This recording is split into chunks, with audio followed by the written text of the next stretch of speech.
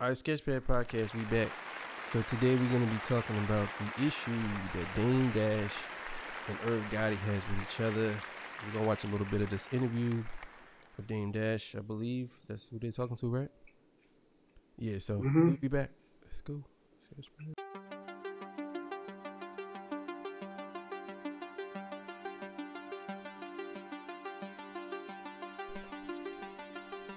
Who raised you?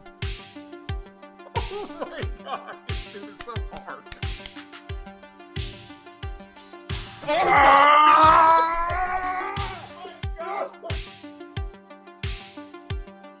That last bar was crazy. Oh my god. Ah. Children are too young to make those type of choices for themselves. You know, that's why they have parents. Oh. Each other. What? Yo, I can't understand it neither. I also too, man. We almost reached ten thousand subscribers. We almost there. We get about about I believe sixty more subscribers. So please, I think believe the next video that drops, we're gonna be over ten thousand. So proud of us. A couple of weeks ago, maybe two, three months ago, we was at fifty subscribers. Now we at ten thousand. We trying to reach a million. Let's go. So let's get into this interview real quick, man, and we're gonna come back and discuss how we feel. All right, let's go. mental health is more about keeping in shape, you know, because the, the bullshit ain't finna stop. The reason why I bring that up is because, so you know, there, there was a recent interview uh, that Irv had done Yeah. where he had addressed some things, and um, you know, didn't have the best, didn't didn't put you in the best light. You know what I mean? Yeah. You know how you know in the midst of everything productive that's going well, how do you handle things like that with your name being brought up in the media and you know how's how are you feeling about that? Is it Well- affecting any of that that we just talked about? No, not at all. The the thing that disturbed me the most about that was like page six was calling me and like different outlets were calling me to get a comment on it. And it was just to me it was like this is that program if like a black man says something about another black man, that's gonna be press. And when he said it, that was like the next day because I had seen it on like you know social media. Yeah, and yeah, like sure. you know people send it to me. To, you know, I mean, everybody was talking about it. That's how I came across it. yeah, because it, it was hilarious to me.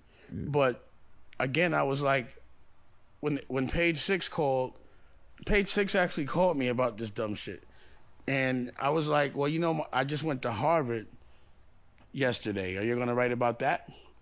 And then there was no nothing no more said. So I'm like, this is just a part of that program and that algorithm. You know, Irv is my brother. So sometimes I worry about his mental health. And you know, I, I and you've always said that like you, to to keep it real like i'm glad you said it because i was going to ask you about that every time you've referred to irv in private it's been hey that's my little bro. That's my that's my brother. Even amongst all of this where you could be saying some of the craziest shit i'm sure because you guys have a history i go back you know what i mean? And y'all gone through shit that bros go through you know what i'm saying? But you've always kept it on a certain level like yo that's my bro. I don't know what this is you know. Well, i'll let you say it. well, I can say this. Yes, Irv is my brother. They're all my brothers. yeah And it, it's like, it's funny. It depends on what time in their life that they're cool with me or when they're not. Mm. And, you know, Irv, Irv and I fundamental, fundamentally have always approached the music business a little different. Mm. You know, what I see him doing is celebrating taking his artist masters and selling them and saying, you know, this is how I make my money. And that's the furthest thing that, you know, I would ever do with any one of my artists. That's not my approach. See, for me, the problem with a creative is usually they can't make their vision come true because they don't have the money. So my thing is to keep a creative as economically empowered as possible because you know what you get when you get a rich creative? You get a Kanye. Hmm. You get a Jay-Z. So, you know, my artists generally end up being billionaires. because I'm not going to take their masters and That's say I'm going to fact and a them. bar. Fact and a bar. I'm not gonna take their masters and then be like, "Yo, this that that," I, and that's sad to me because I know, Irv, you know, I don't understand that, and I'm not gonna get into that. But fundamentally, that's where we've always been different, and I've always tried to beg Irv not to glamorize this gangster lifestyle in such a way, like, because it wasn't really ever for him.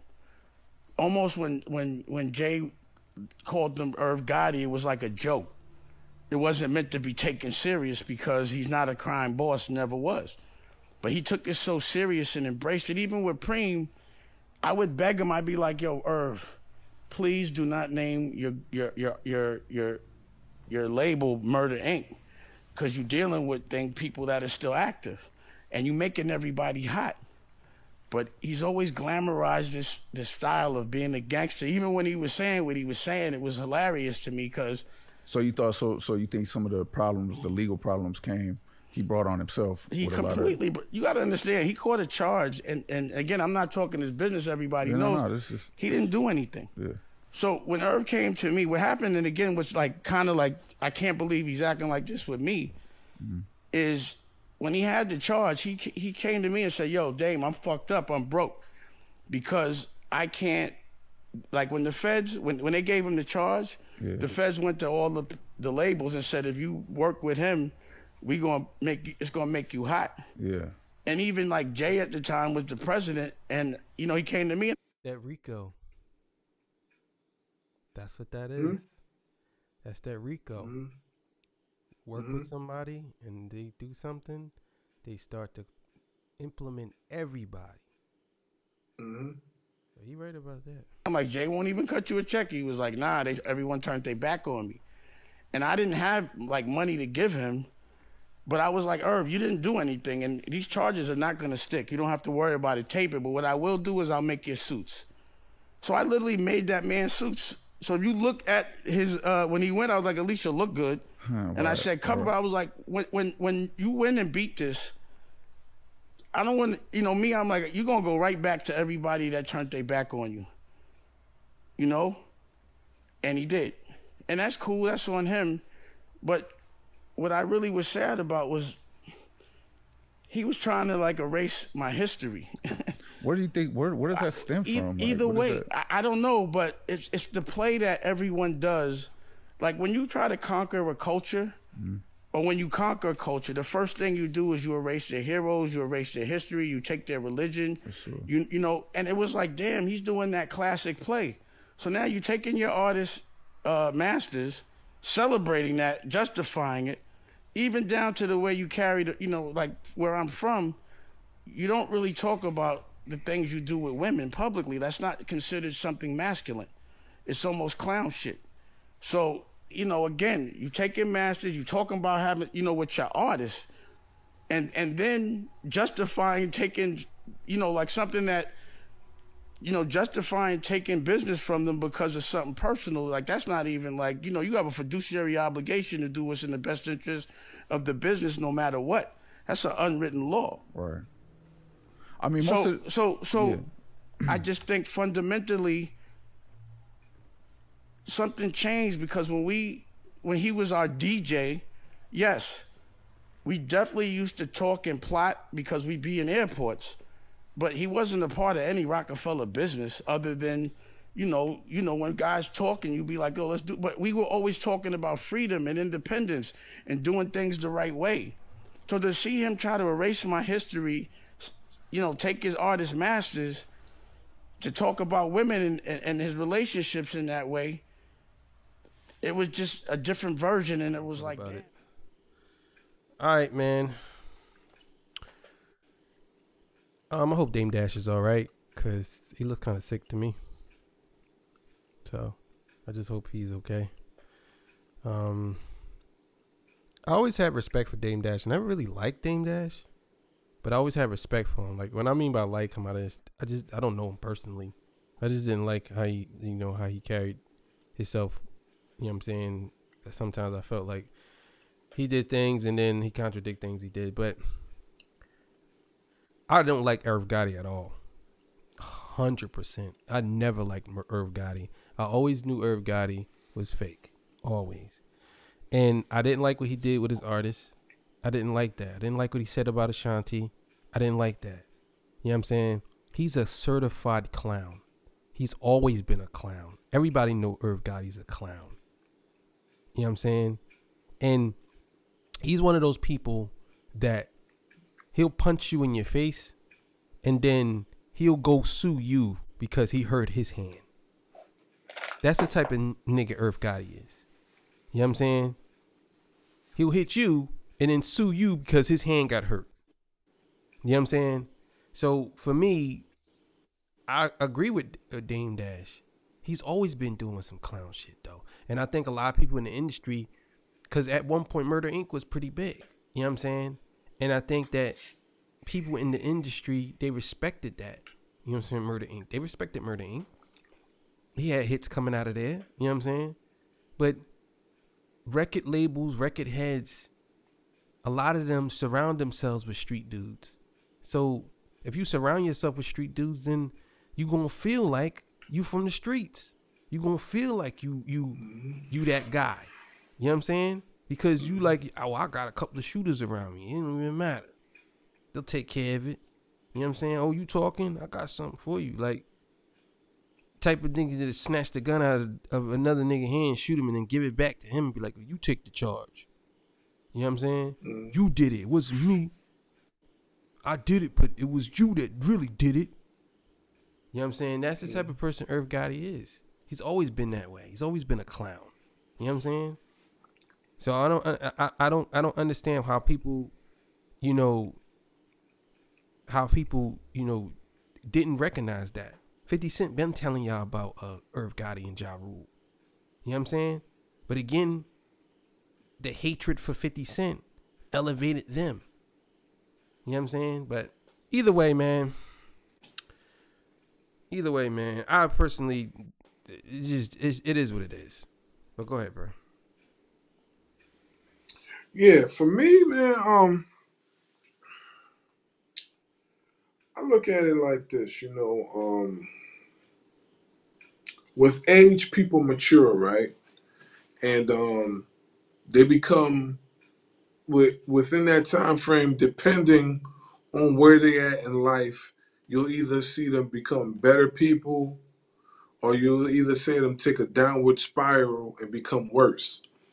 Um, in this situation, you know, I see Dame Dash, you know, he's trying to be more of the mentor like figure. And Irv Gotti, you know what I mean? I, I don't I mean, I know he had a health situation or whatever like that, and um, I know he had some other things going on with him. It just seems like he's taking a downward spiral. You know what I mean? You know, just a lot of things going on around him and things like that. Uh, what I gotta say is, man, um, you do become who you hang around, and like especially in the interview, I agree with uh, Dame Dash, 110 percent. Like you know, you know, just the stamping itself of what you're branding yourself to be can bring more attention onto you and make your situations either good for you or bad for you. You know what I mean? In his case, he had some crazy times that were dope, and then he had some times that was nutty too, you know. So it was like both both sides of the field, you know. Um, that type of energy is never good for business. You know what I mean? You see with the like you mentioned the whole fifty cent beef. You know what I mean? Uh, I forgot what what incident that happened some time ago when where the lights went off and somebody got somebody got shanked up or something like that. I for, I forgot what what exactly happened or who was involved, but I know there was an incident like that with them and stuff. Like, man, it it's just you know it's poor for business when when you gotta when you gotta go through all those those obstacles that are unnecessary when all you really had to do was just put yourself around individuals that's going to elevate you. You know what I mean? But like I said, man, um, when you're in the industry and you know you feel as if to be accepted you gotta become that energy. So you start you know what i mean? You start recruiting cats from the block. Like you'll come run with me. You know what i mean? You'll get money and you know who gonna say no? Ain't nobody gonna say no. They gonna they gonna want to be a part of that. You know what i mean? Especially if irv gotti tell them yo let's go be a part of that. You know? Um like I said, man, uh, it it was a very interesting interview. You know, um, there's a lot of good points that Dame made. You know, it, it you know it just seems it just seems to me like you know we're in the era of uh, we're in the era if you damned if you do, damned if you don't. You know what I mean? And you know, I I definitely don't agree with keeping a person's masters even after they they fulfilled their obligations. You know, I don't agree with that not one bit. But but hey, you know, you know what I mean. When you deal in the business, you know you're going you're going to deal with people. You know what I mean. Do what they want to do. That's why you see so many artists nowadays. They they become independent and they stay independent.